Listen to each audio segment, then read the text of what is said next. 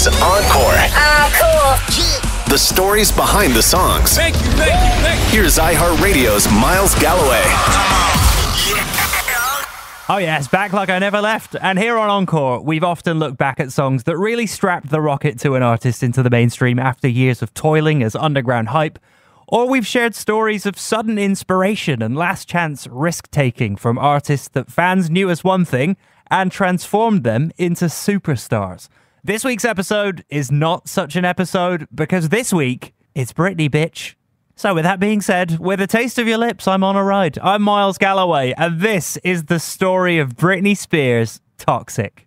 By early 2004, Britney Spears had firmly established herself at the pinnacle of pop music. Britney had already claimed the title of being the best selling teenage artist of all time, thanks to the successes of her albums Baby One More Time and Oops, I Did It Again. And she'd just become the youngest artist to be included into the Hollywood Walk of Fame, aged 21. Britney had also already gone a whopping 26 times platinum for her first three mega hit records released in 99, 2000, and 2001. And she would quickly add another 2 million records to that tally for her 2003 effort In the Zone, essentially as soon as it was released. Britney, of course, remained humble through it all, telling Much's Nam Kiwanuka at the time. Because you're barely like in your 20s and you've done all these things and you've broken all these records and you that's a huge accomplishment. Yeah. Well, thank you. That's very nice, and that's flattering that people say that. Does it make you, why don't you like, like, I, I would be like, yeah, I'm an icon. Because when you think of icon, you think it's like, oh, she's so formal. And yeah, you know, she's got to be like this now. Or like, you know, and it's just, I don't know, it's very flattering and I'm, I, I love what I do, you mm-hmm. know, and I think that's what it boils down to. That's why I've done so much because I genuinely, that's what drives me to, you know, wake up every morning is because I genuinely, I love singing and dancing and doing that. So, um, I'm just trying not to think about it. Ugh. So, really? Yeah. You're very humble. well, thank you. Now, it's, you're on the eve of uh, the release of your fourth album Mm-hmm. and a lot of expectations, Mm-hmm. um, not just from other people. What do you expect for yourself? What expectations do you have for yourself? Honestly, I'm at the point where I'm not. I don't really think it's about like selling 50 million records or da da da da. You know, I mean, like I think I've I've kind of like gone that route of selling a bunch of records and stuff, and it's it's really just about the enjoyment of what I do, and just you know. Um, pushing myself and challenging myself each time and getting more um, you know, creative, like with videos and exploring new ideas and, like I said, challenging myself. It's not about, let me see how many records I can sell. da, da, da. You know, I'm just really enjoying what I do right now. And, you know, hopefully that will speak for itself and people like it. You know what I mean? Released only a number of weeks after Madonna, Britney and fellow pop diva Christina Aguilera shocked the world by sharing a cringy yet captivating kiss at the 2003 VMAs during a Madonna medley. Mwah. In the Zone's first single, Me Against the Music featuring Madonna, represented the official torch passing from Madonna to Spears. Speaking of the kiss at the time, Britney was pretty progressive about it, claiming that it wasn't done for whatever shock value the public had prescribed on it, and that it was just another example of two girls kissing in America. She told much. Um, actually, I didn't think it was going to be that big of a deal. Like, we didn't, you know, how many people have you seen in America that have kissed another girl? And then that was really one portion. Underrate, It was cool though. It was a cool. I've never kissed a girl before, so underrated of the, all the kisses, kisses that you've ever had. What did it uh, rate? what did it rate? It was so fast. I don't even remember. It was really. Uh, watching back though, I thought it was kind of cool. I was like, "Oh, we look kind of hot. We look kind of cool." But and no, I didn't really. Um, you know, at the moment, I wasn't like turned on or anything. Compared to her previous successes, and considering both Britney and Madonna were so deeply in the public consciousness thanks to that VMA's makeout, Me Against the Music was actually a modest hit for the two artists. The debut single from In the Zone peaked at a very un Britney like number 35 on the Billboard Hot 100 in the US, although it did make it to number 2 in the UK and here in Canada, something I like to call the Miles Galloway effect, for no good reason whatsoever.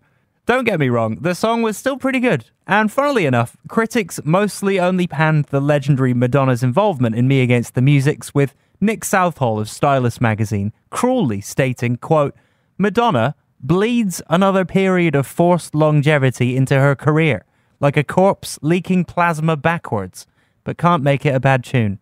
Yeah, IGN called the track, quote, ultimately forgettable, other than it's the music counterpart fallout to and from the duo's lip lock publicity stunt on the MTV VMAs. Whatever side of the fence you found yourself on with me against the music, it wouldn't really matter in the grand scheme of things, because, like the album title implied, Britney Spears was in the zone. And as 2003 turned 2004, we were all about to go on a ride. It's wild to think that in a different world, Toxic would have not been a Britney Spears song at all. English songwriter Cathy Dennis had originally penned the bones of the song with Janet Jackson in mind, but had also offered it to Kylie Minogue. But um, Dennis and Minogue had previously had success together with Kylie's disco banger Can't Get You Out of My Head in 2001, so you would think it was a sure thing she'd pick up Toxic too. But Minogue eventually passed on the song, and Dennis and her co-writers Henrik Jonback, Christian Karlsson, and Pontus Winnberg continued to shop it around. Strangely, Karlsson and Winnberg, known as Bloodshy and Avant at the time, were quoted as saying that they weren't really planning on crafting a pop hit, and that they were simply experimenting with different sounds in the studio, with Karlsson saying, We certainly didn't have Britney in mind. It wasn't like her stuff at all. But now, that's Britney's sound. Minogue would later tell The Sun, I knew that Britney was keen on it. I wasn't angry when it worked for Britney. It's like the fish that got away. You just have to accept it and keen on it, she definitely was. Britney told MusiquePlus in 2003, before anyone in the public had heard it, that Toxic was one of her favorites on In the Zone. But um, that and uh, I like Toxic for some reason. Toxic, yeah. Actually, I didn't write that song, but um, Bloodshy wrote that and Cathy Yeah. Dennis. Yeah. It's amazing. Yeah, they're so good and they're so musically like brilliant. Cathy Dennis and the Swedish Three were not the only composers on Toxic, though, and I'm not alluding to Britney herself. This was one of the few songs on In the Zone that she actually didn't have a co writing credit on. A huge amount of credit for Toxic sound has to go to a composer duo not well known in the Western world, but hugely influential musicians in their own right. Laxmikant Shantaram Kudalkar and Pyarelal Ramprasad Sharma were an Indian composer duo that worked on scores with the who's who of Hindi films from the 1960s through to Kudalkar's death in 1998. Their song Tere Mere Beech Mein from a 1981 Hindi romantic tragedy film was sampled, mashed up, and re recorded in bits and pieces for Toxic, giving the song its unique Bollywood vibe.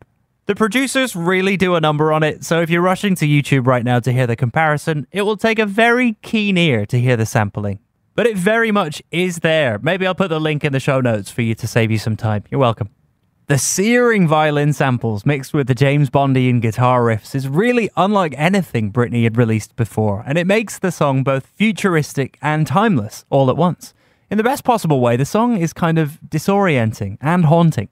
Britney's echoing falsetto in the bridge mixes with the song's poisonous lyrics perfectly, and the samples stopping and starting so urgently brings a sort of euphoric relief when the classic chorus finally hits. It's not a bold statement to say that Britney Spears herself has been a major influence on pop music. That's pretty obvious. But Toxic is heavily credited by many critics and fans alike as ushering a new electro pop influenced sound into the mainstream that is still present in music literally 20 years later. Look at artists like Tate McRae, Dua Lipa, Charli XCX among its likely disciples. Simply put, the song is intoxicating. No matter who you are or what you're into musically, you can't help but admit Toxic is a hit. If by some slim chance you weren't addicted to Toxic by simply hearing it, the music video would prove to give you your fix. The iconic music video, directed by Joseph Kahn, starts with sultry flight attendant Britney delivering drinks to stuffy high rollers in first class of an airplane. She chases a mild mannered and schlubby man into the plane's toilet and begins to join the Mile High Club with him before, shock surprise, she rips off his face and he's an undercover male model super spy in disguise. Didn't see that one coming. Britney steals a high tech security pass from the sexy man's pocket during their hookup sesh and jumps onto the back of popular male model at the time, Tyson Beckford, who's shirtless and driving a Ducati motorcycle at super high speed. Britney then makes her way to Toxic Industries laboratory to steal some heavily secured poison. A red haired Britney does an amazingly choreographed dance scene through the Toxic Lab security lasers, but she trips on one of the lasers, which doesn't seem to matter. Oh, who cares? It was sexy. A raven haired Britney then turns into an assassin and scales a building using suction climbers to confront a cheating ex boyfriend. She seduces him, obviously, pours the toxic goo in his mouth, seals it with a kiss, and jumps out the window to escape, once again returning to a simple life of flight attendants. Joseph Kahn confirmed that year to MTV, by the way. She kills that ex boyfriend. He's dead. Sorry, buddy. Wait, wait, wait. Wait, hold on. I'm forgetting something. Oh, yes, the diamonds! Within the first 30 seconds of our sexy spy story, the music video for Toxic is intercut with Britney Spears in one of her most iconic looks fully naked, if not for strategically placed and stunningly vibrant diamonds. Despite popular belief, and because it's kind of hard to tell, Britney is not wearing a thin or skin toned body stocking with diamonds strewn on it. She really is just wearing a net of diamonds over her bare skin. And that diamond suit was Britney's idea, with Kahn saying, I wasn't sure what I was thinking about when she told me about that scene. Maybe those iconic intros to James Bond movies. But every video needs an iconic image to remember, and that's it. For the nude scenes, the set of the video was cleared to a skeleton staff, leaving only Kahn, his cinematographer, and his editor on site to avoid any photo leaks. To this day, the diamonds are quintessential Britney Spears, a woman at the height of her powers, having total freedom over how she wanted to express herself as the world's biggest pop star. The music video reportedly cost $1 million to produce, but I think we'd all agree it was money well spent. Some 11 years later, Joseph Kahn would go on to direct another Super Spy music video for the biggest pop star on the planet. This time, though, it was the iconic video for Taylor Swift's Bad Blood. Taylor's red hair look in the video is a direct homage to Britney and the Toxic video's influence on pop culture. And I mean, with the same director, why wouldn't you? I wonder if it was the same wig. Wouldn't you know it, even years after their breakup, Justin Timberlake inadvertently had an adverse effect on Britney's career. In February 2004, soon after the infamous Nipplegate, where Timberlake exposed Janet Jackson's bare breasts during the Super Bowl halftime show, Toxic and five other music videos were shifted to being played only after 10 pm on MTV, as to not offend anyone due to a quote, particular sensitivity in the culture right now. Boo! That was boo, not boob.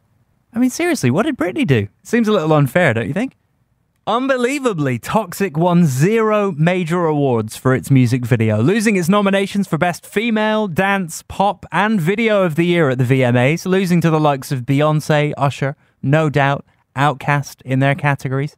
On Billboard's Hot 100 charts, it peaked at a respectable number 9, which in no way makes it some sort of underground hit, but it does show that in 2004, we just weren't fully ready for it. Of course, like I mentioned, In the Zone sold a near immediate 2 million copies upon its release, and has recently clocked another million to that tally, with Toxic reaching six times platinum status in the US, and it was number one here in Canada and in the UK after all. Toxic also has the somewhat shocking distinction of being Britney's singular Grammy win, winning the award for Best Dance Recording in 2005. Realistically, though, maybe all of that is a good thing, as Toxic is transcendent of the need of critical or industry accolades.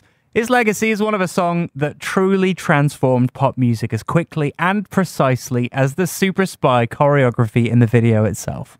Rolling Stone's Rob Sheffield put it brilliantly in 2022 when he named Toxic Britney Spears' greatest song of all time, saying, quote, It's the great pop song of this century, the ultimate Britney Spears classic. A Taste of Poison Paradise, Toxic is all that and more. Summing up Britney at her best and brashest, Toxic is a swirl of spaced out glam disco kicks, spy movie strings, surf guitar twang, a beat that should wear a warning. She doesn't just take a sip from the devil's cup, she guzzles that bitch and crushes the cup on her forehead.